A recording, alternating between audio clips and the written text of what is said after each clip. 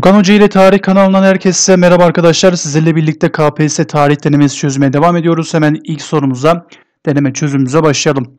İslamiyet öncesi Türk devletlerinde görülen insan şeklinde çok kaba yontulmuş, sanatsal olmaktan çok öldürülen düşmanları temsil eden taşlara verilen ad hangisidir arkadaşlar?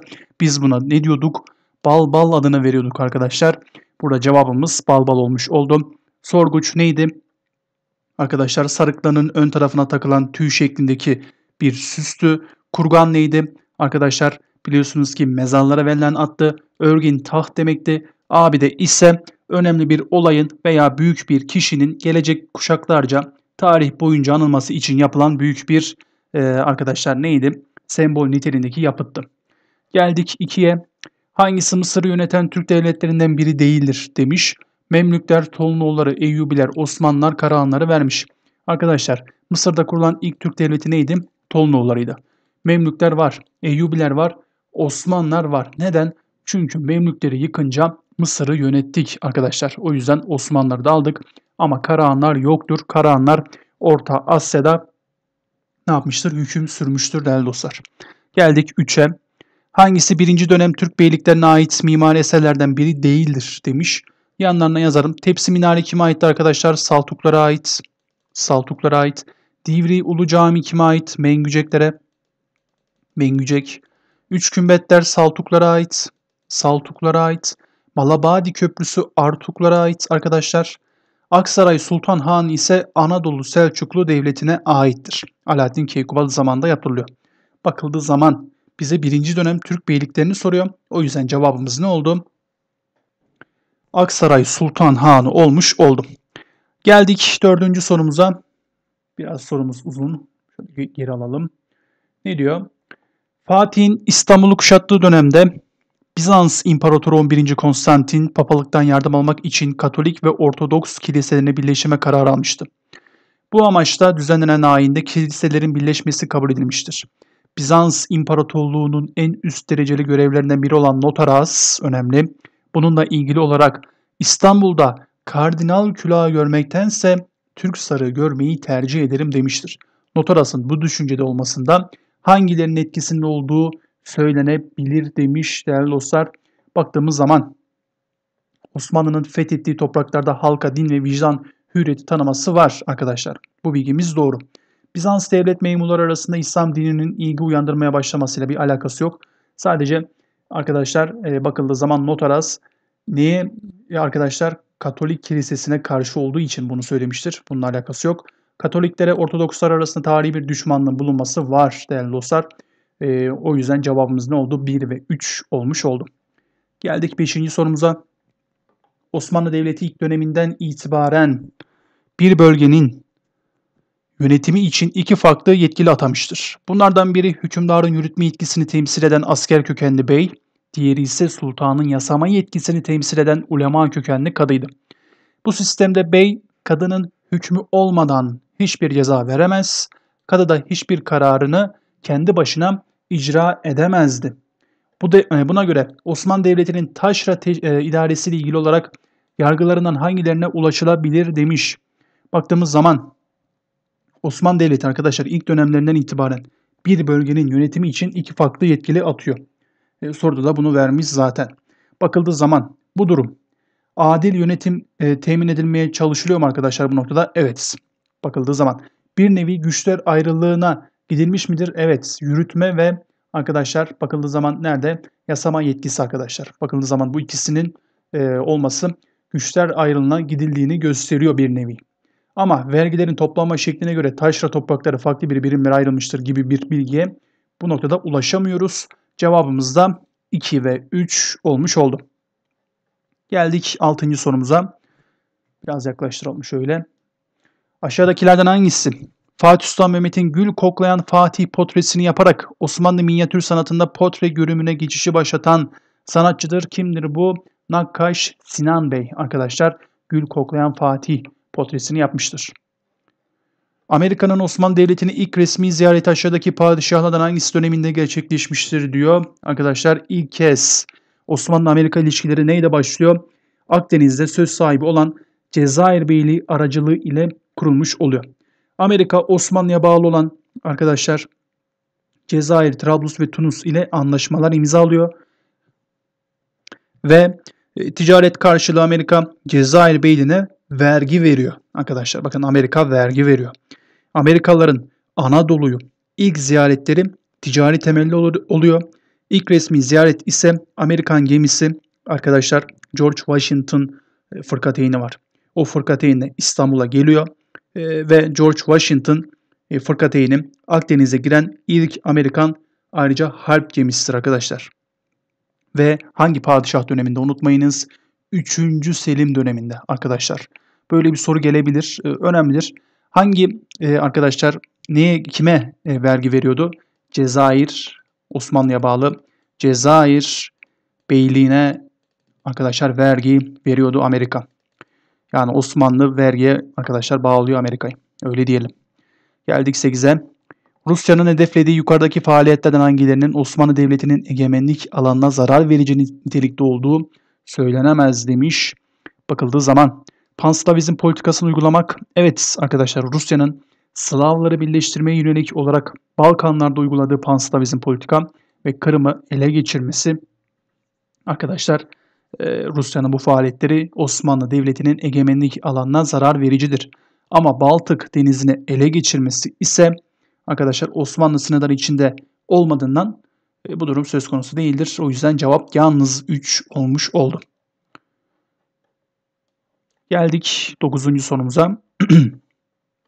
Hangisi 2. Mahmut'un İstanbul'da yapılan göçleri azaltmak için aldığı önlemlerden biridir demiş. Biliyorsunuz ki mürür tezkeresi alma zorunluluğunu getirmesi arkadaşlar. Bir nevi pasaport yurt içi 2. E, Mahmut döneminde uygulanıyor. Bence günümüzde de uygulanmalı arkadaşlar. E, İstanbul'a girişlerde çünkü çok çok fazla nüfusu İstanbul'un artık ve gün içerisinde arkadaşlar 15 milyon nüfusu var zaten. Gün içerisinde yaklaşık 25 milyon olduğu söyleniyor gün içerisinde İstanbul'un ziyaretlerle onunla bununla diyelim ve 10. sorumuza geçelim. 1876'da yürürlüğe giren kanun esasının padişah sürgün yetkisi veren 113. maddesinin Tanzimat Fermanı'nın maddelerinden hangileriyle çeliştiği söylenebilir demiş. Mahkeme kararı olmaksızın bir kimse şüphe üzerine keyfi bir şekilde cezalandırılamaz diyor. Arkadaşlar bakın cezalandırılamaz diyor. Sürgün yetkisi veriliyor arkadaşlar. Yani cezalandırılıyor. Bununla çelişiyor. Bakalım diğer şıklarımıza. Herkes mal mülk sahibi olabilecek ve malını miras bırak bırakabilecek. Bunda değil. Askerlik ocak sisteminden çıkarılacak. Vatan görevi haline getirilecek. Bununla da ilgili değil. Bir ceza olması lazım. Cevabımız yalnız bir oldu. Geldik bir diğer sorumuza. Biraz geri alalım. Osmanlı Devleti'nde 19. yüzyıl başlarında Ermeniler milleti sadıka, sağlık millet olarak adlandırılmışlardı. Ermeniler önemli görevlere getirilmişler, büyük şehirlerde ticaret ve sanatla uğraşarak zengin olmuşlardı. Ermenilerin bu şekilde yaşamalarına rağmen 19. yüzyıldan itibaren örgütlenmelerinde ve devlet kurmak için harekete geçmelerinde hangi devletlerin etkisi olduğu söylenebilir demiş. Hangi devletler? İngiltere ve Rusya arkadaşlar. İkisinin etkisi vardır. İtalya'nın etkisi yoktur. Cevabımız 1-2 oldu. Bir diğer sorumuza geldik. Yukarıdakilerden hangilerinin kendilerine bağlı birliklerle başlattıkları isyan hareketi ikinci meşrutiyetini ilan edilmesinde etkili olmuştur diyor. Resneri Niyazi, Enver Paşa, e, İbrahim Temo'yu vermiş. Arkadaşlar 2. Abdülhamit'in 93 Harbi'ni öne sürerek biliyorsunuz ki meclisi kapatması üzerine meşrutiyet yanlısı aydınlar harekete geçiyor. İttihat ve Terakki Cemiyeti'ni kurmuş oluyorlar. Bu cemiyetin amacı neydi? Bu cemiyetin amacı anayasayı yeniden yürürlüğe koydurarak meşrutiyet yönetimine geçişi sağlamaktı. İçeride bu gelişmeler yaşanırken dışta da ne vardı? Rusya ile İngiltere reval görüşmelerini yapmışlardı. Bu görüşmelerde Makedonya, Boğazlar ve Osmanlı tebaası olan gayrimüslimler gündeme geliyor. E, bu durum e, duyulunca da İttihat Terakki yöneticileri harekete geçiyorlar. Cemiyete bağlı subaylardan kol ağası Niyazi, Resneli Niyazi arkadaşlar Bey ve Binbaşı Enver Bey'in Selanik'te kendilerine bağlı birliklerle başladıkları isyan ikinci meşrutiyetin ilan edilmesinde etkili olmuştur. İbrahim Temo ise İttihat Terakki'nin kurucularındandır. E, meşrutiyetin ilan edilmesinde etkili değildir. Cevap 1 ve 2 olmuş oldu. Geldik bir diğer sorumuza. 13'teyiz. İkinci Balkan Savaşı aşağıdaki devletlerden hangisinin Birinci Balkan Savaşı sonucu, sonunda daha fazla toprak kazanması nedeniyle çıkmıştır diyor. Arkadaşlar biliyorsunuz ki Bulgaristan Birinci Balkan Savaşı sonucunda çok toprak aldı. Ee, değerli dostlar o yüzden e, ne oluyor arkadaşlar? İkinci Balkan Savaşı başlamış oluyor. Osmanlı Devleti 2. Balkan Savaşı sonucunda ise Edirne ve Kırklareli'yi geri almıştır. Birinci Balkan Savaşı sonucunda arkadaşlar Londra, İkinci Balkan Savaşı sonucunda Bükreş anlaşmaları imzalanmıştır. Bunu da bilelim. Geldik 14'e. Hangileri Birinci Dünya Savaşı'nın çıkmasında etkili olmuştur diyor bizlere. Bakıldığı zaman arkadaşlar Fransız ihtilali var, sanayi inkılabı var, sömürgecilik var arkadaşlar. Fransız ihtilali sonucunda biliyorsunuz ki milliyetçilik akımı, sanayi inkılabı sonucunda ham madde ihtiyacının artması arkadaşlar ve sömürgeciliğin hızlanması etkilidir. Cevabımız E şıkkı oldu. Geldik bir diğer sorumuza. Amasya genelgesinin maddelerinden hangileri genelgeye genelgeyle hem işgalcilere hem de Osmanlı Devleti'ne karşı bir tutum sergilendiğine kanıt olarak gösterilebilir demiş. Milletin bağımsızlığını yine milletin azim ve kararı kurtaracaktır. Osmanlı hükümeti üzerine aldığı sorumluluğu yerine getirememektedir. Her türlü denetim ve etkiden uzak milli bir kurul oluşturulmalıdır demiş. Arkadaşlar e, ilk öncüle baktığımız zaman e, ulus egemenliğine geçişin yolunu açtığından ve bağımsızlığı hedeflediğinden. İkinci öncüle baktığımız zaman e, hükümete tepki niteliği olduğundan. Üçüncü öncüle baktığımız zaman yönetim boşluğunu doldurmaya yönelik olduğundan hem işgalcilere hem de Osmanlı Devleti'ne karşı bir tutum sergilendiğini gösteriyor bizlere. Cevabımız da E seçeneği olmuş oldu. Geldik bir diğer sorumuza.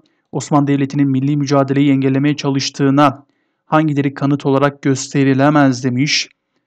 Damat Ferit hükümeti yerine Ali Rıza Paşa hükümetinin kurulması. Arkadaşlar e, bakıldığı zaman e, Damat Ferit Paşa hükümeti Sivas Kongresi'nden sonra istifa ediyor. Yerine Ali Rıza Paşa hükümeti kuruluyor. Ali Rıza Paşa milli mücadeleyle tepki olmadığından, e, milli mücadeleye tepkili olmadığından engelleme yönelik değildir. İstanbul Fetvası yayınlanıyor. Dürrizade arkadaşlar tarafından Ali Galip olayı yaşanıyor biliyorsunuz ki. E, Sivas'ta cevabımız ne oldu? Elazığ valisi Ali Galip'tir. Cevabımız ne oldu? 1, 2 ve 3 olmuş oldu demeyelim. Gösterilemezi soruyor. Dikkatli olalım. Cevabımız yalnız 1. Geldik bir diğer sorumuza. 17'deyiz. Büyük Millet Meclisi'nin ilk e, açıldığı dönemde en çok meşgul olduğu sorun arkadaşlar nedir? E, muhalefet partilerinin kurulması değil, saltanatın kaldırılmasına çalış e, saltanatın kaldırılmasına çalışılması değil, yurdun çeşitli yerlerine ayaklanmalar çıkması arkadaşlar. E, Büyük Millet Meclisi'nin olduğu ilk dönemlerinde ayaklamalar çıkıyor biliyorsunuz ki e, hem Osmanlı hükümeti tarafından hem İtilaf devletleri tarafından en çok bununla uğraşıyor. Bir diğer sorumuzdayız. Milli mücadele döneminde Mustafa Kemal ordunun maddi ve manevi gücünü büyük ölçüde artırmak ve yönetimi sağlamlaştırmak amacıyla Türkiye Büyük Millet Meclisi'nin yetkilerini meclis adına kullanabilme ve yasa kabul edebilecek emirler verebilme yetkisi veren kanun çok pardon arkadaşlar aşağıdaki savaş çiftlerinden hangisi ikisi arasında çıkarılmıştır diyor bizlere. Hangi savaş ikisiydi arkadaşlar? Kütahya Eskişehir Savaşı'nda biliyorsunuz ki ve Sakarya Savaşı'nda arkadaşlar çıkarılmıştır. Cevabımız ne oldu?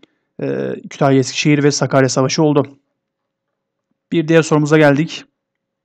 Doğu Trakya'nın diplomasi yoluyla elde ettiği anlaşma hangisidir diye sormuş. E, bakıldığı zaman arkadaşlar Doğu Trakya'yı biliyorsunuz ki diplomatik yollarla Mudanya Anlaşması'yla alıyoruz. İstanbul'u ayrıca. İstanbul ve Doğu Trakya'yı alıyoruz. Refet Bele tarafından. bir diğer sorumuzdayız. Hangisi Türkiye'nin iki dünya savaşı arasında dönemde yaşadığı iş meselelerden biri değildir demiş. Menemen olayı arkadaşlar 1930.